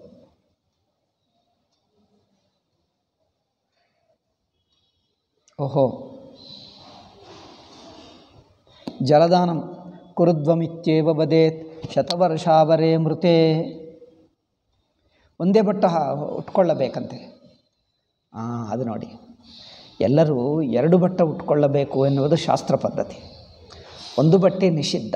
ಶಾಸ್ತ್ರಕರ್ಮಗಳಿಗೆ ಏಕವಸ್ತ್ರ ಎನ್ನುವುದು ನಿಷಿದ್ಧ. ಸನ್ಯಾಸಿ ಏಕವಸ್ತ್ರ ಹಾಕ್ಕೊಳ್ತಾರೆ. ಏಕವಸ್ತ್ರ ಹಾಕ್ಕೊಳ್ತಾರೆ ಕೌಪಿನೇ ಇರ್ತಾರೆ. ಅವ್ರು ಯಾವ ಬಟ್ಟೆ ಇಲ್ಲದ್ರೆ ಇರ್ತಾರೆ. ಅವರದಾದ ಹಾಗೆ ಪದ್ಧತಿ. ಆದರೆ ಇವರು ಒಂದು ಒಂದು ವಸ್ತ್ರ ಅಂದರೆ ಅವರ ಅಪವಿತ್ರ ಭಾವಿಸ್ತಾರೆ. ಅದು ಏನು? ಒಂದು ವಸ್ತ್ರ ಇರಬಾರ್ದು. ಎರಡು ವಸ್ತ್ರ ಹಾಕಬೇಕು. ಈ ಕಾಲದಲ್ಲಿ ಪ್ಯಾಂಟ್ ಶರ್ಟ್ ಹಾಕ್ತಾರೆ, ಅದೇ ನೆಕ್ಕರ್ ಹಾಕ್ಕೊಂಡು ತಿರುಗುತ್ತಾರೆ, ಅಲ್ಲವೇ? ಈ ಇವರು ನೆಕ್ಕರ್ ಹಾಕ್ಕೊಂಡು ತಿರುಗುತ್ತಾರೆ. ಏನೇನೋ ಮಾಡ್ತಾ ಇದ್ದಾರೆ? ನೋಡ್ತಾ ಇದ್ದೀನಿ. ಹಿರಿಯರಷ್ಟು ಇಷ್ಟು ನೆಕ್ಕರ್ ಹಾಕ್ಕೊಂಡು ಇಲ್ಲಿ ಓಡಾಡ್ತಾನೆ. ಇದನ್ನು ಏನು ಹುಚ್ಚು ಬುದ್ಧಿ ಅಂತ ಹೇಳಿ. ಈ ನೆಕ್ಕರ್ ಹಾಕ್ಕೊಂಡು ತಿರುಗೋದೇನು ಮನೆಯಲ್ಲಿ ನೆಕ್ಕರ್ ಹಾಕ್ಕೊಂಡೇ ತಿರುಗುತ್ತಾರೆ ಎಲ್ಲರು. ಉದಕಂತು ಕರಿಷ್ಯಾಮ ಸಚೈಲಂ ಪುರುಷಾಸ್ತತಃ ಕುರುಧ್ವಮಿತ್ಯೇವಂ ವದೇತ್ ಶತವರ್ಷಾವರೆ ಮೃತೆ ಪುತ್ರಾದ್ಯ ವೃದ್ಧಪೂರ್ವಾಸ್ತೆ ಏಕವಸ್ತ್ರ ಶಿಖಾಂ ವಿನಾ ಏಕವಸ್ತ್ರ ಓಹೋ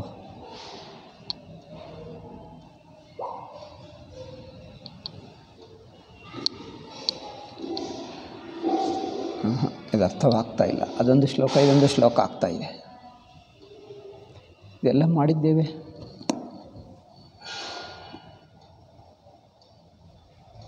ಕುರುಧ್ವಮಿತ್ಯೇವಂ ಒಂದೇ ಬಟ್ಟ, ಅಂದರೆ ಕೆಳಗೆ ಉಟ್ಟುಕೊಂಡಿರುವ ಬಟ್ಟೆಯನ್ನು ಅದನ್ನೇ ಮೇಲಕ್ಕೆ ಹಾಂ ಉಟ್ಕೊಳ್ಳಬೇಕು. ಮೇ ಮೇ, ಮೇಲೆ ಹಾಕ್ಕೊಳ್ಳಬೇಕು.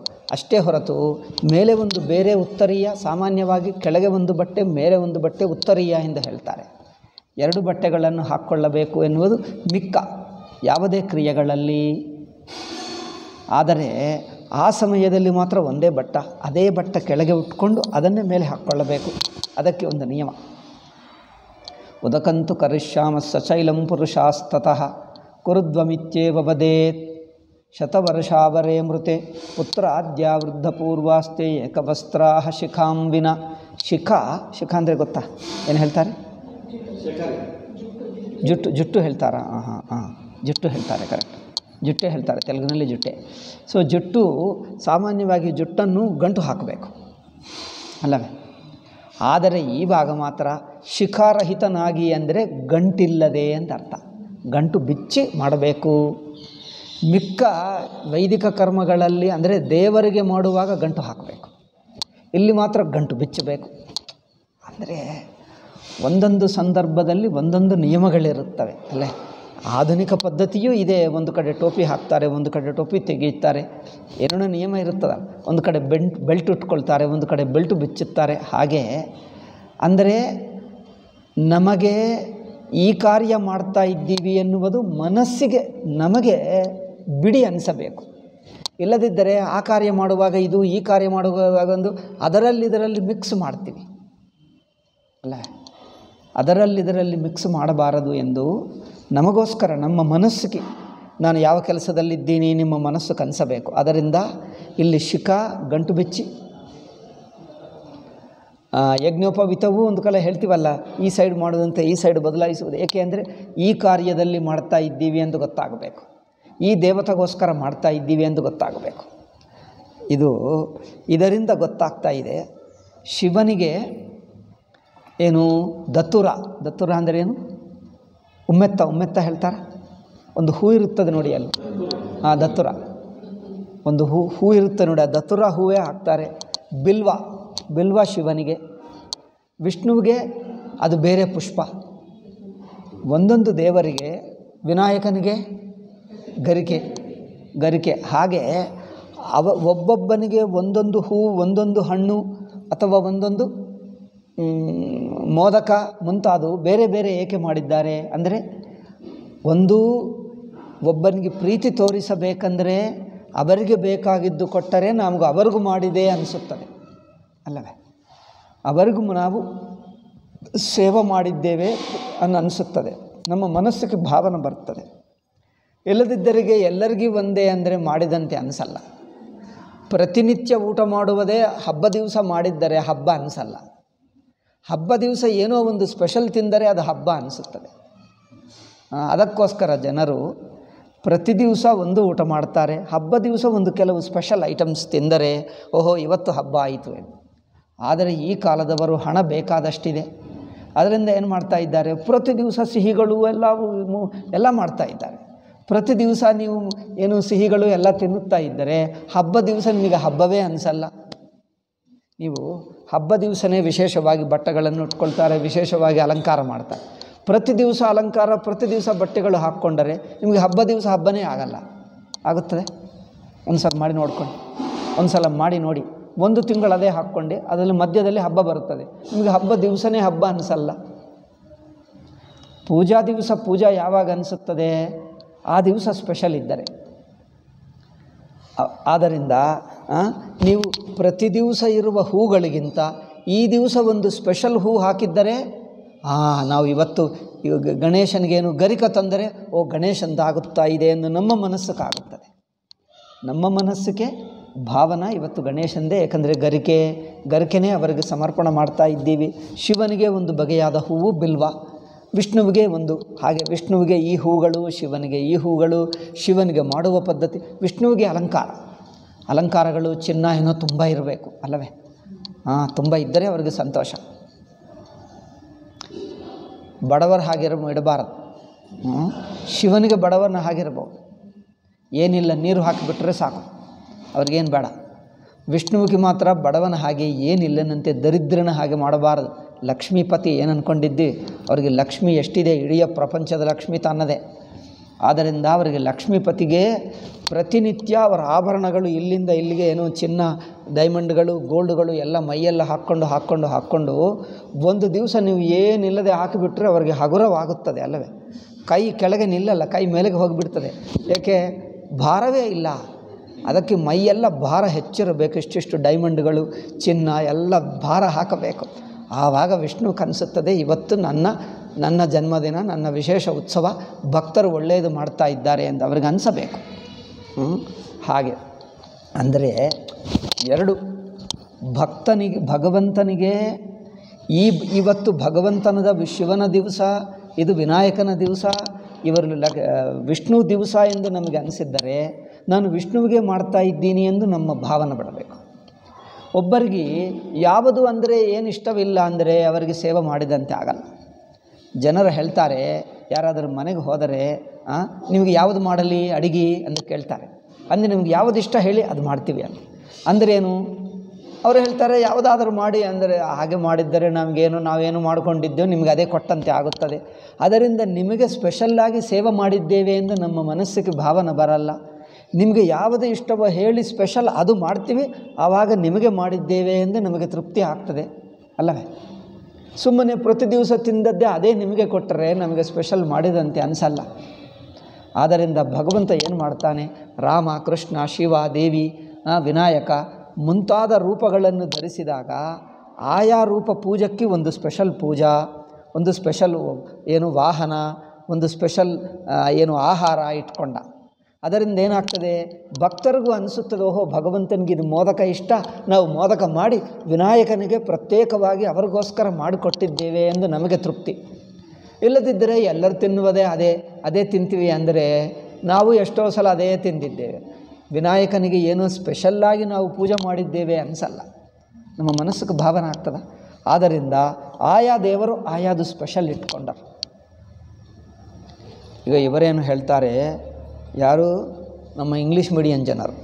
ದೇವರು ಒಂದೇ, ಅವರಿಗೆಲ್ಲ ಹಬ್ಬಗಳು ಒಂದೇ, ಎಂದಿಗೂ ಒಂದೇ ತಿನ್ನಬೇಕು ಒಂದೇ ತಿನ್ನಬೇಕು ಒಂದೇ ಹಬ್ಬ, ಒಂದೇ ಇದು, ಒಂದೇ ಇರಬೇಕು. ಏನು ಇಷ್ಟಿಷ್ಟು ದೇವರು ಇಷ್ಟಿಷ್ಟು ಅವ್ರಿಗೇನು ಮೋದಕ ಅಂತೆ, ಇವ್ರಿಗೆ ಇನ್ನೇನು ಅಂತೆ, ಇವ್ರಿಗೆ ಇನ್ನೇನು ಅಂತೆ, ಏನು ಇಷ್ಟಿಷ್ಟು ಮಾಡುವುದು ಅವರಿಗೆ ಪುಲಿಹೋರ ದದ್ದೋಜನ ಸಕ್ಕರೆ ಪೊಂಗಲಿ ಹಾಂ ಯಾರಿಗೆ? ವಿಷ್ಣುವಿಗೆ. ಶಿವನಿಗೆ ಶಿವನಿಗೆ ಏನು ಸ್ಪೆಷಲ್ ಮಾಡ್ತಾರೆ? ತಿಂತಾರೋ ಗೊತ್ತಿಲ್ಲ. ಆ ಒಬ್ಬೊಬ್ಬನಿಗೆ ಒಂದೊಂದು ಏನೇನು ಇಷ್ಟಿಲ್ಲ ವ್ಯತ್ಯಾಸ, ಎಲ್ಲರಿಗೂ ಒಂದೇ ಇರಬೇಕು. ಎಲ್ಲರಿಗೂ ಒಂದೇ ಅಂದರೆ ಅವರ ಸ್ಪೆಷಲ್ ದಿವಸನೇ ಅನಿಸಲ್ಲ, ಅನಿಸುತ್ತದೆ.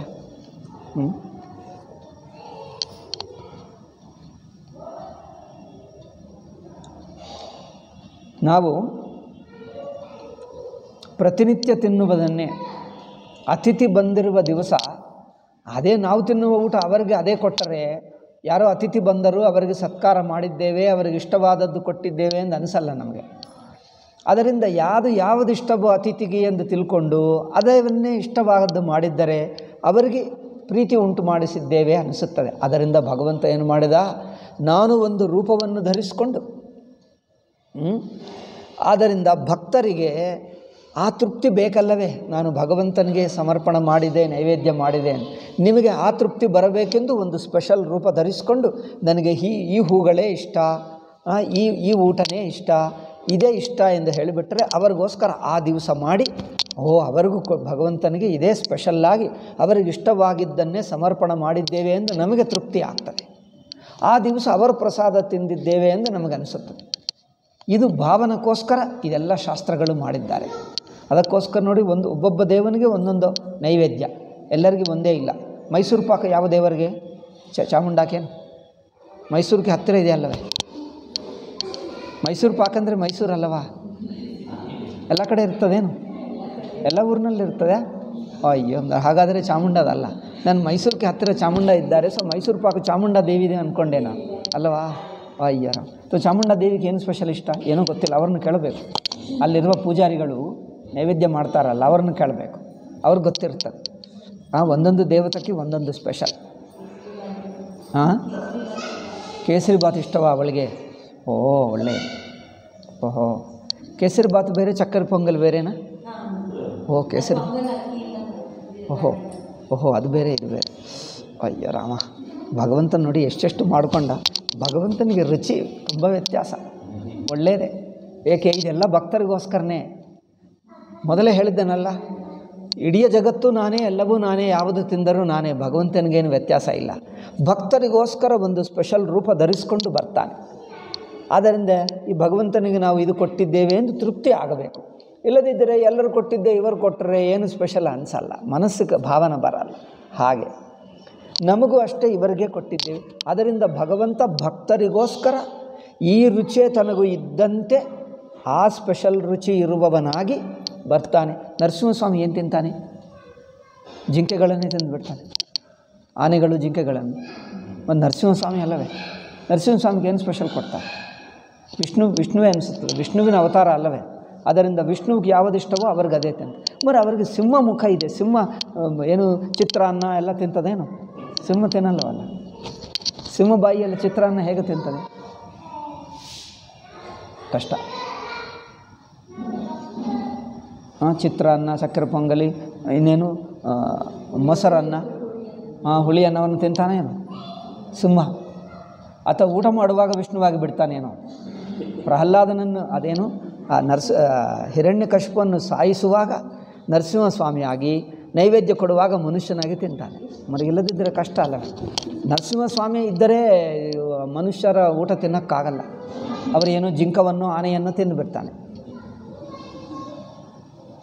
ಅಥವಾ ನರಸಿಂಹಸ್ವಾಮಿ ಹೇಳಬೇಕು, ಪ್ರತಿನಿತ್ಯ ನೈವೇದ್ಯ ಅಂದರೆ ಪ್ರತಿನಿತ್ಯ ಒಂದು ಹಿರಣ್ಯಕಶಿಪನ್ನು ತಂದು ಕೊಡಬೇಕು. ಭಾರತ ದೇಶದಲ್ಲಿ ಹಿರಣ್ಯಕಶಿಪುಗಳಿದ್ದಾರಾ ಪ್ರತಿ ದಿವಸ ಒಬ್ಬೊಬ್ಬರನ್ನು ತಂದಿಡಬೇಕು. ಹಾಂ ಇದು ಚೆನ್ನಾಗಿದೆ. ಇದು ಚೆನ್ನಾಗಿದೆ. ಪ್ರತಿ ದಿವಸ ಒಬ್ಬೊಬ್ಬ ಹಿರಣ್ಯ ಕಶ್ಪು ಯಾರ್ಯಾರು ಕೆಟ್ಟವರಿದ್ದಾರೋ, ಯಾರ್ಯಾರು ವಿಲನ್ಗಳಿದ್ದಾರೋ, ಒಬ್ಬೊಬ್ಬನನ್ನು ಪ್ರತಿ ದಿವಸ ಒಬ್ಬ ಹಿರಣ್ಯ ಕಶ್ಪು ಆವಾಗಲೇ ನನ್ನ ನರಸಿಂಹಸ್ವಾಮಿ ಮಂದಿರ ಕಟ್ಟಬೇಕು. ಇಲ್ಲದಿದ್ದರೆ ನರಸಿಂಹ ಮಂದಿರ ಬೇಡ. ಕಟ್ಟಿದ್ದರೆ ಪ್ರತಿ ದಿವಸ ಒಬ್ಬೊಬ್ಬನು ಹಿರಣ್ಯ ಕಶ್ಪುವನ್ನು ತರಬೇಕು.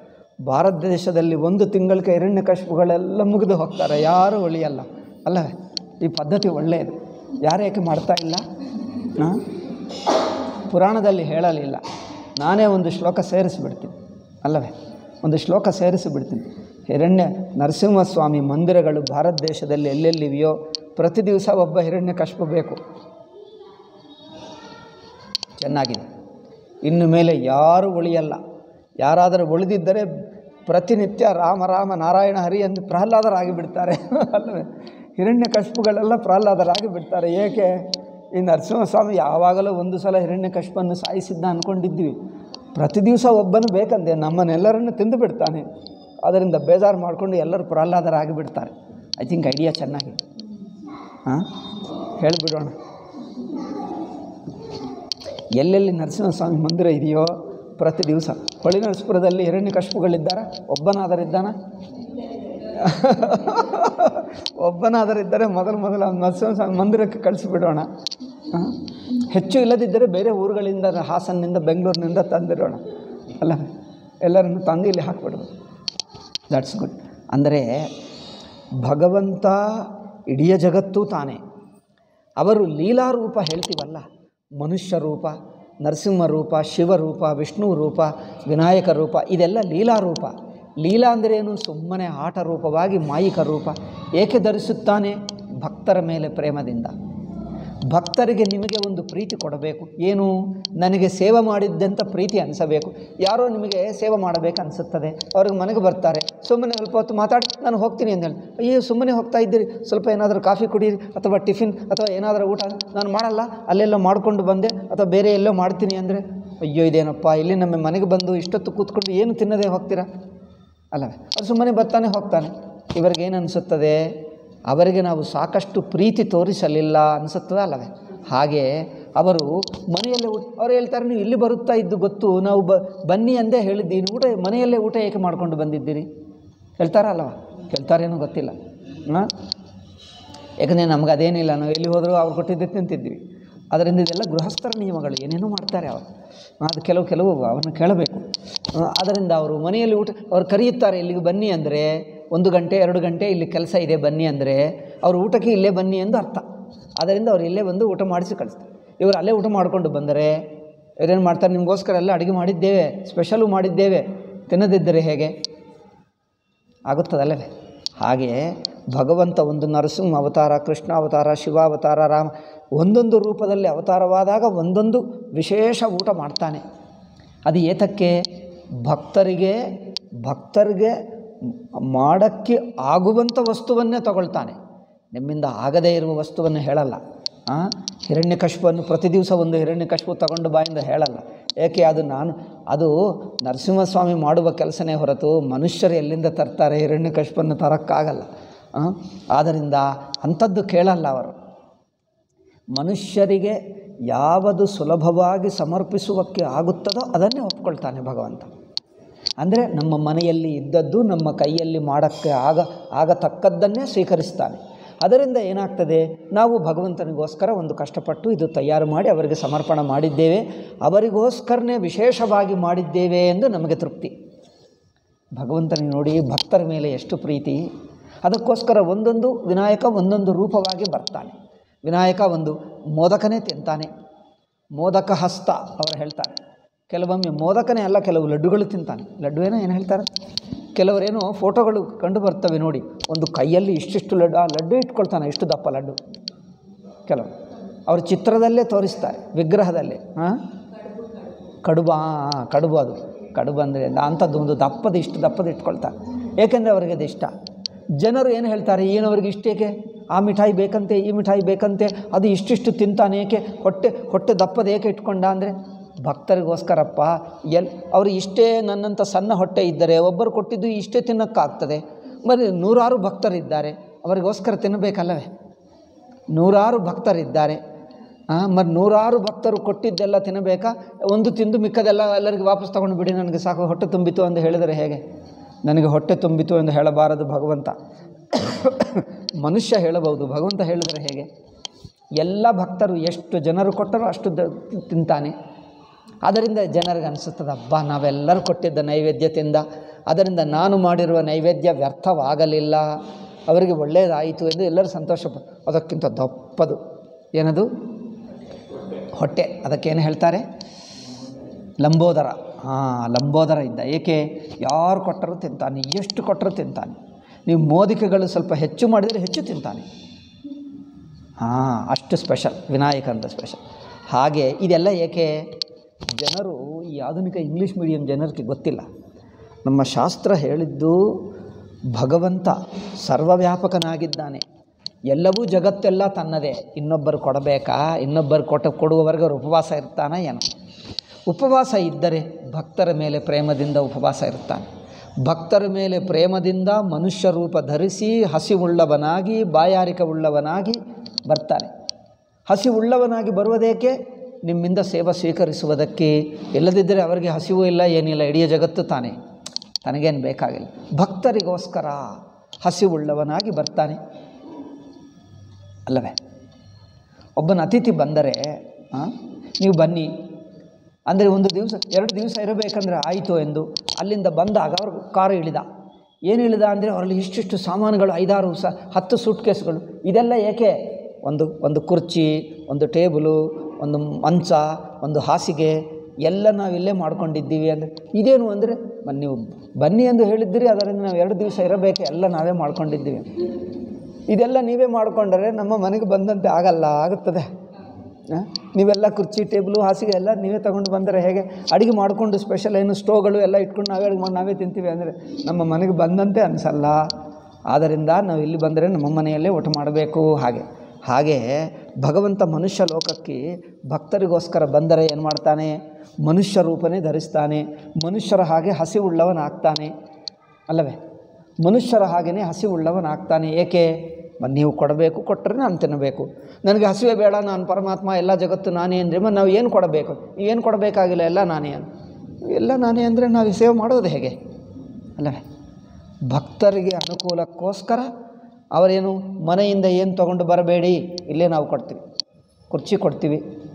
ಹ್ಞೂ ಎಲ್ಲ ಟೇಬಲು ಏನೇನು ಬೇಕೋ ಇಲ್ಲೇ ಕೊಡ್ತೀವಿ. ಮತ್ತು ಬರುವಾಗ ಒಂದು ಫ್ಯಾನ್ ತೊಗೊಂಡು ಬರ್ತೀವಿ, ಒಂದು ಟ್ಯೂಬ್ಲೈಟ್ ತೊಗೊಂಡು ಬರ್ತೀವಿ, ಇಲ್ಲೇ ಹಾಕ್ಕೊಳ್ತೀವಿ ಎಲ್ಲ ಎಲ್ಲ ನೀನು ಮಾಡ್ಕೊಳ್ತೀರಾ? ಹಾಗೆ ಮಾಡಿದರೆ ನಮ್ಮ ಮನೆಗೆ ಬರದಂತೆಯೇ ಆಗಲ್ಲ ಬಂದಿದ್ದಂತೆಯೇ ಆಗಲ್ಲ. ಆದ್ದರಿಂದ ನಮ್ಮ ಸೇವಕ್ಕೆ ಅವಕಾಶ ಇರಬೇಕು. ಹಾಗೆ ಭಗವಂತ ಭಕ್ತರಿಗೋಸ್ಕರ ಎಲ್ಲ ಅದೆಲ್ಲ ಮಾಡ್ತಾನೆ. ಅದು. ಅವರು ಹೇಳ್ತಾರೆ, ಏನಿದು? ಒಂದೊಂದು ದೇವರಿಗೆ ಒಂದೊಂದ. ಇಷ್ಟು ದೇವರು ಬಗೆ ಬಗೆ ಬಗೆ ಬಗೆ ಏನಿಲ್ಲ. ಒಂದೇ ದೇವರು ಬಗೆ ಬಗೆ ರೂಪಗಳನ್ನು ಧರಿಸುತ್ತಾನೆ. ಒಬ್ಬನೇ ಪರಮಾತ್ಮ. ಅನೇಕ ರೂಪಗಳು ಧರಿಸಿ, ಅನೇಕ ರುಚಿಗಳು ಉಳ್ಳವನಾದರೆ, ನಿಮ್ಮ ಮನೆಯಲ್ಲಿಯೂ ಒಂದೇ ಸ್ವೀಟು ಅಂದರೆ ಅವರು ಎಂದಿಗೂ ವೈನ್ ಕುಡಿಯುತ್ತಾನೆ. ವೈನ್ ಅಂದರೆ ಗೊತ್ತಾ? ದ್ರಾಕ್ಷ ಸಾರಾಯಿ. ಸಾರಾಯಿ ಹೇಳ್ತಾರ ಕನ್ನಡದಲ್ಲಿ? ದ್ರ, ದ್ರಾಕ್ಷ ರಸನ, ದ್ರಾಕ್ಷ ರಸ ಅಲ್ಲ, ಸಾರಾಯಿ. ಬರೀ ಜೀಸಸ್ ದ್ರಾಕ್ಷ ಸಾರಾಯಿ ಕುಡಿಯದಿದ್ದರೆ ಇನ್ನೇನು ಮಾಡ್ತಾನೆ ನಾನು ಜೀಸಸ್ ಕುರಿತು ಹೇಳ್ತಾ ಇದ್ದೀನಿ. ನೀವು ದ್ರಾಕ್ಷ ರಸ ಏಕೆ ಹೇಳ್ತಾ ಇದ್ದೀರಿ? ದ್ರಾಕ್ಷ ಸರ ರಸ ಕುಡಿದರೆ ಅವರು ಹಿಂದೂ ಆಗಿಬಿಡ್ತಾನೆ, ಅವರು ಕುಡಿಯಲ್ಲ, ಸಾರಾಯಿ ಕುಡಿಯುತ್ತಾನೆ ಹ್ಞೂ ಅದರಿಂದ ಆ ಕೆಂಪು ಸಾರಾಯಿ ಇರುತ್ತದೆ ನೋಡಿ, ದ್ರಾಕ್ಷ ಸಾರಾಯಿ. ದ್ರಾಕ್ಷ ಸಾರಾಯೇ ಕುಡಿಯುತ್ತಾನೆ. ಅವರು ಪ್ರತಿ ದಿವಸ ಅದೇ ಕುಡಿಯುತ್ತಾನೆ ಕ್ರಿಸ್ಮಸ್ ದಿವಸ ಅದೇ ಕುಡಿಯುತ್ತಾನೆ, ಇನ್ನೊಂದು ಹಬ್ಬ ಅವರದ್ದು. ಯಾವ ಹಬ್ಬ ಇಲ್ಲ ಅದೊಂದೇ ಒಬ್ಬನೇ ದೇವರು ಒಂದೇ ಕುಡಿಯುತ್ತಾನೆ, ಅವರು ಪ್ರತಿ ದಿವಸ ಅದೇ ಕುಡಿಯುತ್ತಾರೆ. ಅವರಿಗೆ ಹೊಂದುತ್ತದೆ. ನಮಗೆ ಪ್ರತಿ ದಿವಸ ಅದೇ ಮೋದಕ ಮೋದಕ ಮೋದಕ ತಿಂದರೆ ನಿಮಗೆ ಪ್ರತಿ ದಿವಸ ಮೋದಕ ತಿಂದು ತಿಂದು ತಿಂದು ಬೇಜಾರಾಗ್ತದೆ. ಭಗವಂತ ಇನ್ನೊಂದು ಇನ್ನೊಂದು ಮಾಡಿಕೊಂಡು, ಬಾಪ್ಪ, ನಾವು ಇನ್ನೊಂದು ಮಾಡ್ತೀವಿ. ಒಂದು ದಿವಸ ಇನ್ನೊಂದು ಪಾಯಸ, ಇನ್ನೊಂದು ದಿವಸ ಸಕ್ಕರೆ ಪೊಂಗಲಿ, ಇನ್ನೊಂದು ದಿವಸ ಇನ್ನೇನು ಕೇಸರಿ ಬಾತು ಇದ್ದರೆ ನಮಗೂ ಪ್ರತಿ ದಿವಸ ಬೇರೆ ಬೇರೆ ಆಗ್ತದೆ. ನೀವು ಒಂದೇ ತಿಂದು ಬಿಟ್ಟರೆ ಹೇಗೆ? ಅದರಿಂದ ಭಗವಂತ ಭಕ್ತನಿಗೋಸ್ಕರ ಬಗೆ ಬಗೆ ರುಚಿ ಉಳ್ಳವನಾಗ್ತಾನೆ. ಒಂದೊಂದು ಸೀಸನ್ ಒಂದೊಂದು ವಸ್ತು ತಿಂತಾನೆ. ಆದ್ದರಿಂದ ಭಕ್ತರ ಮನೆಯಲ್ಲಿಯೂ ಅಡುಗೆ ಬಗೆ ಬಗೆಯಾದ ಅಡುಗೆ ಆಗುತ್ತದೆ. ಹಾಗೆ ನೋಡಿ, ಭಗವಂತ ಭಕ್ತರ ಜೊತೆಗೆ ಹೊಂದಿಕೊಳ್ತಾನೆ. ಮನುಷ್ಯರಿಗೆ ಹೇಗಿರುತ್ತದೋ ಪಾಪ ಅವರು ಮನುಷ್ಯರ ಜೊತೆಗೆ ಹೊಂದಿಕೊಂಡು ಬಿಡ್ತಾನೆ. ಅದರಿಂದ ಮನುಷ್ಯರ ಹಾಗೆಯೇ ಅವರನ್ನು ನೋಡ್ತೀವಿ. ಮನುಷ್ಯ ರೂಪ ಧರಿಸಿಕೊಂಡು, ಮನುಷ್ಯನ ಹಾಗೆ ಹಸಿವುಳ್ಳವನಾಗಿ, ಮನುಷ್ಯನ ಹಾಗೆ ಮಾತಾಡ್ತಾನೆ, ಮನುಷ್ಯನ ಹಾಗೆ ಕುರ್ಚಿ ಮೇಲೆ ಕೂತಿರ್ತಾನೆ. ಅವರಿಗೆಲ್ಲ ನೋಡಿ ಅಲ್ಲಿ ಕುರ್ಚಿ ಮೇಲೆ ಕೂರಿಸ್ತಾರೆ. ಆಸನ ಮಾಡ್ತೀವಿ, ಸಿಂಹಾಸನ ಮಾಡ್ತೀವಿ, ಲೈಟ್ ಹಾಕ್ತೀವಿ, ಫ್ಯಾನ್ ತಿರುಗಿಸ್ತೀವಿ, ಎಲ್ಲ ಮಾಡ್ತೀವಿ. ಏನು ಏನದು ಚಾಮರಂ ಬೀಜಯಾಮಿ, ಎಲ್ಲ ಮಾಡ್ತಾರಲ್ಲ. ನೈವೇದ್ಯ ಎಲ್ಲ ಮಾಡ್ತೀವಿ, ನಮ್ಮ ಹಾಗೇ ಮಾಡ್ತೀವಿ. ಮತ್ತು ರಾತ್ರಿಗೆಲ್ಲ ಮುಚ್ಚಿಬಿಡ್ತೀವಿ, ಮಲ್ಕೊಳ್ತಾನೆ. ಬೆಳಗ್ಗೆ ಎದ್ದು ಮತ್ತೆ ನಮ್ಮ ಜೊತೆಗೆ ಅವ್ರು ಹೇಳ್ತಾರೆ, ಅಂದರೆ ನಮ್ಮ ಮನೆಯಲ್ಲಿ ನಮ್ಮ ಜೊತೆಗೆ ಬಂದು, ನಮ್ಮ ಜೊತೆಗೆ ಇದ್ದು ಆಗಿದ್ದ ಒಬ್ಬನು ಪಾಕಿಸ್ತಾನಿ ಮುಸ್ಲಿಂ. ಫೇಸ್ಬುಕ್ನಲ್ಲಿ ಹೇಳ್ತಾನೆ ಬಾ ನಿಮ್ಮ ವಿನಾಯಕ ಹಬ್ಬ ಎಷ್ಟು ಚೆನ್ನಾಗಿದೆ. ನಾನು ಪೂರ್ವಜರು, ನಮ್ಮ ಪೂರ್ವಜರು ಇದೇ ಮತಕ್ಕೆ ಸೇರಿದವರು. ಎಷ್ಟು ಚೆನ್ನಾಗಿದೆ ನೋಡಿ, ಎಷ್ಟು ಬಗೆಯಾದ ವಿನಾಯಕರನ್ನು ಬಗೆ ಬಗೆ ಬಗೆ ಮಾಡ್ತಾ ಇದ್ದಾರೆ. ಕಲಾ, ಎಲ್ಲರ ಕಲಾ ಬುದ್ಧಿ ಯೋಚನವನ್ನು ಕಲಾ ನನಗೆ ಗೊತ್ತಲ್ಲವೇ? ಆರ್ಟ್. ಆರ್ಟ್ನಿಂದ ಒಬ್ಬೊಬ್ಬರು ಒಂದೊಂದು ಬಗೆ ಒಂದೊಂದು ಬಗೆ. ಇಲ್ಲಿ ನೋಡಿ, ಇಡೀ ಭಾರತ ದೇಶದಲ್ಲಿ ಈ ವರ್ಷ ಎಷ್ಟು ವಿನಾಯಕರು, ಎಷ್ಟು ಬಗೆ ಇವೆಯೋ, ಒಂದೊಂದು ಸಿಟಿಯಲ್ಲಿ ನೋಡು. ಅದೆಲ್ಲ ಫೋಟೋಗಳು ತೆಗೆದು ಬಿಟ್ಟರೆ ಒಂದು ನೂರು ಇನ್ನೂರು ಬಗೆಯ ವಿನಾಯಕಗಳಿರುತ್ತಾರೆ. ಯಾವ ಎರಡು ವಿನಾಯಕಗಳು ಒಂದು ಬಗೆ ಇರಲ್ಲ. ಹಾ, ಅವರು ಹೇಳ್ತಾರೆ, ಎಷ್ಟು ಕಲಾತ್ಮಕವಾಗಿದೆ, ನಿಮ್ಮ ಹಬ್ಬ ಎಷ್ಟು ಚೆನ್ನಾಗಿದೆ, ಊಟ ಹಾಡು ಹಾಡುವುದು ಮತ್ತು ನೃತ್ಯ ಮಾಡುವುದು, ಒಬ್ಬರನ್ನೊಬ್ಬರನ್ನು ಕರೆಯುವುದು, ಯಾರ ಹಬ್ಬ ಹೀಗಿಲ್ಲ? ನಮ್ಮ ಹಬ್ಬಗಳು ನೋಡಿ, ಒಂದು ರಕ್ತವನ್ನು ಮಾಡುವುದು, ಈ ದ್ವೇಷ ಮಾಡುವುದು ಇದೆ. ಒಂದು ಹಬ್ಬ ಇದೆ ನೋಡಿ, ಚೈನ್ಗಳಿಂದ ಮನೆ, ಮೈಯಲ್ಲಿ ಹೊಡೆದು ಹೊಡೆಯುತ್ತಾರೆ. ಎಲ್ಲ ನೋಡಿದರೆ ಭಯಂಕರವಾಗಿರುತ್ತದೆ, ಕ್ರೂರವಾಗಿ. ಅವರು ಎಲ್ಲ ಹಬ್ಬಗಳಿಂತೆ, ಮೌರ್ನಿಂಗ್ಗಳು, ಸಂತಾಪಗಳು ನಿಮ್ಮ ಎಷ್ಟು ಚೆನ್ನಾಗಿದೆ ಹಬ್ಬ. ಅವನು ಮುಸಲ್ಮಾನನೇ. ಇದೆಲ್ಲ ಬರೆದು, ಹಬ್ಬ ನಾನೆಲ್ಲರೂ ನಿಮ್ಮ ಜೊತೆಗೆ ಇದ್ದೀನಿ. ನಿಮ್ಮ ಹಬ್ಬನೇ ನನ್ನ ನಮ್ಮ ಹಬ್ಬ ಎಂದು ಬರೆದಿಟ್ಟ. ಅವರು ಪಾಕಿಸ್ತಾನಿಯವನು ಪಾಕಿಸ್ತಾನಿ ಅಂದರೆ ಭಾರತೀಯರ ಹಿಂದೆ. ಮತ್ತು ಅವರು ವಿದೇಶದಲ್ಲಿದ್ದಾನೆ. ಈಗ ಪಾಕಿಸ್ತಾನ ಬಿಟ್ಟು ಬೇರೆ ವಿದೇಶದಲ್ಲಿದ್ದಾನೆ. ಅವರು ಹೇಳ್ತಾನೆ, ಎಷ್ಟು ಹಬ್ಬ ಚೆನ್ನಾಗಿದೆ ನೋಡಿ. ಆ, ನಿಮ್ಮೆಲ್ಲರ ಜೊತೆಗೆ ನಾನು ಇದ್ದೇನೆ ಎಂದು ಹೇಳಿಬಿಟ್ಟು. ಅಂದರೆ ನಮ್ಮಲ್ಲಿ ಕಲಾ ಇದೆ, ಸಂಗೀತ ಇದೆ, ಸಾಹಿತ್ಯ ಇದೆ. ಸಂಗೀತ ನೋಡಿ ಎಷ್ಟು ಚೆನ್ನಾಗಿ ಹಾಡುತ್ತಾರೆ. ಅವರು ಯಾವ ಹಬ್ಬದಲ್ಲಿ ಆದರೂ ಹಾಡುತ್ತಾರೆ? ಹಾಡುವುದೇ ಇಲ್ಲ. ಸಂಗೀತ ಇಲ್ಲ, ಹಾಡುವುದಿಲ್ಲ, ಯಾವುದು ನೃತ್ಯ ಇಲ್ಲ, ಕಲಾತ್ಮಕತೆ ಇಲ್ಲ ಆನಂದವಿಲ್ಲ ಎಲ್ಲವೂ ಸೀರಿಯಸ್ ಆಗಿರಬೇಕು. ಇನ್ನು ಹೆಚ್ಚೆಂದರೆ ಚೈನಿಂದ ಮನೆಯ, ಮೈಯಲ್ಲೆಲ್ಲ ಹೊಡೆದು ಹೊಡೆ, ಹೊಡೆದು ಏನು ಮಾಡಬೇಕು? ರಕ್ತವನ್ನು ಹೊರಿಸಬೇಕು. ಅಷ್ಟೇ. ಅದೆಲ್ಲ ನೋಡಿದರೆ ಎಷ್ಟು ಭಯಂಕರವಾಗಿರ್ತಾರೆ ನೋಡಿ ಅಪ್ಪ. ಅದೇ ಬುದ್ಧಿ. ಆದ್ದರಿಂದ ಅವರಿಗೆ ಹಬ್ಬ ಹಬ್ಬ ಹಾಗೇ ಇರುವುದಿಲ್ಲ.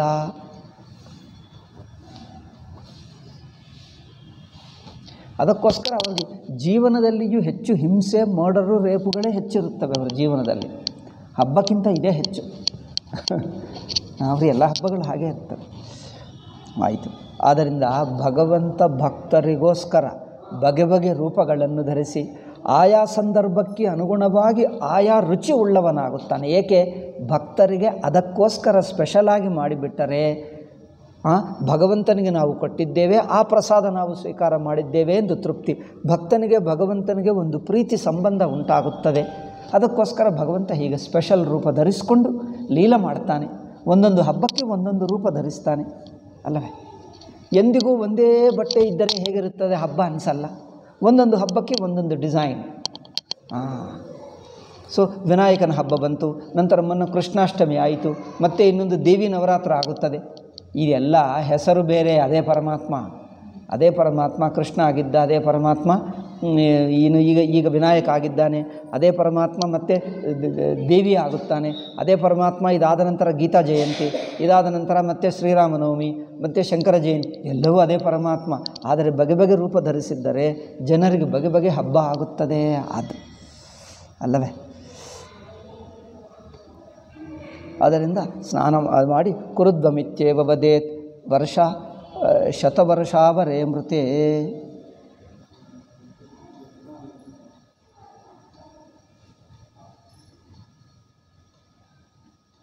ಆದ್ದರಿಂದ ಪ್ರಾಚೀನ ವೀತಿ ಪ್ರಾಚೀನ ವೀತಿ ಅಂದರೆ ಈ ಯಜ್ಞೋಪವೀತವನ್ನು ಇಲ್ಲಿ ಬದಲಾಯಿಸಿ ಶಿಖವನ್ನು ಬಿಚ್ಚಿ, ಶಿಖವನ್ನು ಇದೆಲ್ಲ ಏಕೆ? ಒಂದು ದೇವತಾ ಕ್ಲಿಯದಲ್ಲಿ ಶಿಖವನ್ನು ಗಂಟು ಹಾಕ್ತಾರೆ. ಇಲ್ಲಿ ಇಲ್ಲಿ ಜುಟ್ಟು. ಇನ್ನೊಂದು ಕಡೆ ಗಂಟು ಬಿಚ್ಚುತ್ತಾರೆ. ಅಂದರೆ ಅರ್ಥವೇನು? ನಾವು ಈ ಕೆಲಸ ಮಾಡ್ತಾ ಇದ್ದೇವೆ ಎಂದು ಗೊತ್ತಾಗಬೇಕು. ಎಲ್ಲಕ್ಕೆ ಗಂಟು ಹಾಕಿದ್ದರೆ ಅರ್ಥವಿಲ್ಲ. ಎಲ್ಲಕ್ಕೆ ಯಜ್ಞೋಪವಿತ ಒಂದೇ ಕಡೆ ಇದ್ದರೆ ಅರ್ಥವಿಲ್ಲ. ಓ, ನಾವು ಈ ಕೆಲಸದಲ್ಲಿದ್ದೇವೆ ಎಂದು ಅನಿಸಬೇಕು. ಅದರಿಂದ ದೇವರಿಗೆ ಮಾಡುವಾಗ ಯಜ್ಞೋಪವಿತ ಹೀಗಿರುತ್ತದೆ. ಪಿತರರಿಗೆ ಮಾಡುವಾಗ ಈ ಸೈಡ್ನಿಂದ ಈ ಸೈಡ್ಗೆ ಇರುತ್ತೆ ಅಂದರೇನು? ನಾವು ಈ ಕೆಲಸದಲ್ಲಿದ್ದೇವೆ ಎಂದು ಅನಿಸಬೇಕು. ನಮ್ಮ ಮನಸ್ಸಿಗೆ ಭಾವನೆ ಬರಬೇಕು. ಆಯಿತಾ? ಪ್ರಾಚೀನ ವೀತಿನ ಸರ್ವೇ ವಿಷಯುರ್ಮೌನಿನೋ ಜಲಂ. ಅಪನಶೋಷಿ ಏನಪ್ಪ? ಅಪನಃ. ಎಪ್ಪತ್ ಸೆವೆಂಟಿ ತ್ರೀ. ಅಪನಶೋ ಶೋಷುಚತ್. ಅಘಮನೇನ ಪಿತೃದಿಂಗ್ಮುಖಾ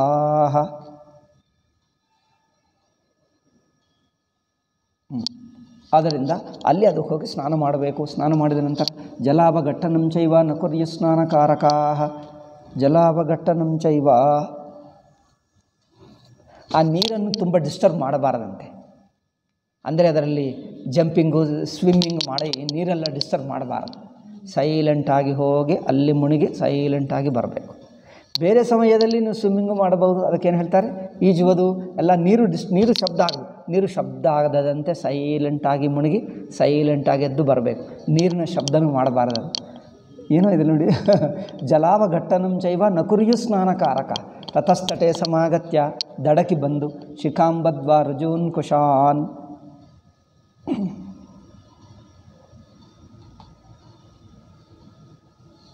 ಮತ್ತೆ ಈ ಗಂಟನ್ನು ಶಿಖ ಹಾಕಿ, ಮತ್ತೆ ಅದನ್ನು ಕುಶವನ್ನು ದರ್ಭವನ್ನು ಕೈಯಲ್ಲಿ ತಗೊಂಡು ಬಿಟ್ಟು ಕುಶಾನ್, ದಕ್ಷಿಣಾಗ್ರಹತಯೋ, ದಕ್ಷಿಣಾಗ್ರಹ ದಕ್ಷಿಣಾಗ್ರಹಸ್ತಯೋಸ್ತು ಕೃತ್ವ ಸತಿಲಂ ಜಲಂ. ತಿಲ ಅಂದರೆ ಎಳ್ಳು ಜೊತೆಗೆ ಎಳ್ಳು ದರ್ಭ ಇಟ್ಕೊಂಡು ಆದಾಯ ಅಂಜಲಿನಾಯಾಮ್ಯಾಂ ದುಃಖಿ ಪೈತೃಕ ತೀರ್ಥತಃ ಏಕವಾರಂ ತ್ರಿವಾರಂ ವಾ ದಶಮಾರ ಮತಾಪಿ ವಾ ನಿವಾಸರ್ವೇ ನಿವಾ ಸರ್ವೇ ಕ್ಷಿಪೇಯರುಭಾಗ್ಯತಃ ಖಗಃ ಮೌನವಾಗಿ ಮತ್ತೆ ಅವರಿಗೆ ಸಮರ್ಪಣ ಮಾಡಿ ನೀರು ಅದನ್ನು ಸಮರ್ಪಿಸಬೇಕು. ತೃಪ್ಯಂತು ತೃಪ್ಯತಾಂ ವಾಪಿ ತರ್ಪಯ ತರ್ಪಯಾಮಿ ತರ್ಪಯಾಮಿ ಉಪತಿಷ್ಠತಾಂ. ಅವರು ಸಂತೃಪ್ತರಾಗಲಿ, ಸಂತೋಷವಾಗಲಿ ಸಿ, ಎಲ್ಲವೂ ಮನಸ್ಸಿನಂದೇ ಮುಖ್ಯ. ಅವರಿಗೆ ಸಂತೋಷವಾಗಲಿ ಎಂದು ನಿಮ್ಮ ಮನಃಪೂರ್ವಕವಾಗಿ ಹೇಳಿದ್ದರೆ ಆಗುತ್ತದೆ. ಅದು ಮುಖ್ಯ. ಅದರಿಂದ ಮನಸ್ಫೂರ್ತಿಯಾಗಿ ನಿಮಗೆ ತೃಪ್ತಿಯಾಗಲಿ ಎಂದು ಹೇಳಿಬಿಟ್ಟರೆ ಅವರ ತೃಪ್ತಿ. ಏಕೆಂದರೆ ಶರೀರ ಬಿಟ್ಟವನಿಗೆ ಮನಸ್ಸು ತುಂಬ ರೆಸ್ಟ್ಲೆಸ್ ಇರುತ್ತದೆ. ತುಂಬ ರೆಸ್ಟ್ಲೆಸ್ ಆಗ್ತದೆ. ಏಕೆ? ಶರೀರ ಬಿಟ್ಟನಲ್ಲ. ಏನೋ ಮಲ್ಕೊಂಡವನಿಗೆ ಅಕಸ್ಮಾತ್ತಾಗಿ ಏನಿದು ಅಲಗಾಡಿಸಿ ಎಬ್ಬಿಸಿದ್ದರೆ ಹೇಗಾಗ್ತದೆ ನೋಡಿ? ನೀವು ಕಾರ್ನಲ್ಲಿ, ಬಸ್ಸಿನಲ್ಲಿ ಕೂತಿರುವಾಗ ಅಥವಾ ರೈಲ್ನಲ್ಲಿ ನಿದ್ದೆ ಹೋಗಿರುವವನಿಗೆ ಒಂದು ಸಲ ಸಡನ್ಲಿ ಆಕ್ಸಿಡೆಂಟ್ ಆಗಿಬಿಟ್ರೆ ಹೇಗೆ ಇರ್ತಾನೆ ಹಾಗೆ ಆಗ್ತದೆ. ಪ್ರಾಣ ಬಿಟ್ಟವನಿಗೆ ಸಡನ್ಲಿ ಶೇಕ್ ಆಗಿಬಿಡ್ತಾರೆ. ಮನಸ್ಸು ಏನು ರೆಸ್ಟ್ಲೆಸ್ ಆಗಿರುತ್ತದೆ. ನೀವು ಮಾಡುವುದರಿಂದ ಇದೆಲ್ಲ ತರ್ಪಣ, ಅದು ಅದು ಮಾಡಿದ್ದರೆ ನಮ್ಮ ನೆಂಟರ ಮೇಲೇ ನೆಂಟರು ಅಂದರೆ ತಮ್ಮ ಮಗ, ಮೊಮ್ಮಗ ಮುಂತಾದವರು ಅವರೇ ಈ ನೆಂಟರು ಇದೆಲ್ಲ ಸಮರ್ಪಣೆ ಮಾಡಿ ಮಾಡುತ್ತಾ ಇದ್ದರೆ ಅವರಿಗೆ ಮನಸ್ಸು ಸ್ಥಿಮಿತವಾಗುತ್ತದೆ, ಶಾಂತವಾಗುತ್ತದೆ. ಇಲ್ಲದಿದ್ದರೆ ಮನಸ್ಸು ಏನೋ ಏನೋ ರೆಸ್ಟ್ಲೆಸ್ ಆಗಿರುತ್ತದೆ, ಹೋಗಿರುವವನೇ. ನೀವು ಹೆಜ್ಜೆ, ಹೆಜ್ಜೆಗೆ ಇದೆಲ್ಲ ಮಾಡುತ್ತಾ ಇದ್ದರೆ ಅವರಿಗೆ ಸ್ವಲ್ಪ ಸ್ವಲ್ಪ ಸ್ವಲ್ಪ ಕಡಿಮೆಯಾಗಿ ಮನಸ್ಸು ಸಮಾಧಾನವಾಗ್ತದೆ. ಓಹೋ, ನಾನು ಪ್ರಾಣ ಬಿಟ್ಟೆ. ಪ್ರಾಣ ಅಂದರೆ ಶರೀರ ಬಿಟ್ಟೆ, ಇಲ್ಲಿಗೆ ಬಂದೆ ನಾನು. ಪ್ರಾಣ ಬಿಡಲ್ಲ, ಪ್ರಾಣ ಜೊತೆಗೆ ಹೋಗ್ತದೆ. ಶರೀರ ಬಿಟ್ಟೆ ಎಂದು ಹೇಳಬೇಕು. ಭೂಲೋಕದಲ್ಲಿರುವವರು ಪ್ರಾಣ ಬಿಟ್ಟ ಹೇಳ್ತೀವಿ. ಅವರು ಮೇಲೆ ಹೋದವರು ಪ್ರಾಣ ಬಿಟ್ಟ ಹೇಳಲ್ಲ, ಶರೀರ ಬಿಟ್ಟ ಎಂದು ಹೇಳಬೇಕು. ಶರೀರ ಬಿಟ್ಟು ಪ್ರಾಣ ಜೊತೆಗೆ ಹೋಗುತ್ತದೆ. ಅದರಿಂದ, ಓ, ನಾನು ಶರೀರ ಬಿಟ್ಟೆ. ಓ, ನಾನು ಶರೀರ ಬಿಟ್ಟೆ, ಈಗ ಭೂಲೋಕದಲ್ಲಿಲ್ಲ ಓ, ಬಿಟ್ಟು ಬಂದೆ. ಆವಾಗ ಗೊತ್ತಾದಾಗ ಮನಸ್ಸು ಸಮಾಧಾನವಾಗ್ತದೆ. ಆ ನೆಂಟರು, ಬಂಧುಗಳೆವರು ಯಾರೂ ಕಂಡು ಬರಲ್ಲ. ಆಯಿತು. ಅವರೆಲ್ಲರೂ ದೂರವಾಗಿರ್ತಾರೆ. ಈಗ ನಾನು ಇಲ್ಲಿ ಹೋಗ್ತೀನಿ. ಮನಸ್ಸಿಗೂ ಸಮಾಧಾನ ಆಗಬೇಕು. ಇಲ್ಲದಿದ್ದರೆ ಕೆಲವು ದಿವಸ ಮನಸ್ಸು ಏನೋ ಚಂಚಲ ಚಂಚಲ ಇರುತ್ತದೆ, ಅವರಿಗೆ ತೋಚಲ್ಲ. ಎಲ್ಲಿ ಹೋಗ್ತಾ ಇದ್ದೀವಿ, ಏನಾಗ್ತಾ ಇದೆ, ಎಲ್ಲ ಇರುತ್ತದೆ. ಇದೆಲ್ಲ ಮಾಡುವ ಕ್ರಿಯೆಗಳಿಂದ ಅವರಿಗೆ ಸಮಾಧಾನವಾಗಿ, ಸಂತೋಷವಾಗಿರುತ್ತಾನೆ. ಈಗ ಮುಂದಿನ ದಾರಿ ಏನೋ ಅದು ನೋಡ್ಕೊಳ್ತಾನೆ. ಹಾಗೆ. ಓಂ ಶಾಂತಿ ಶಾಂತಿ ಶಾಂತಿ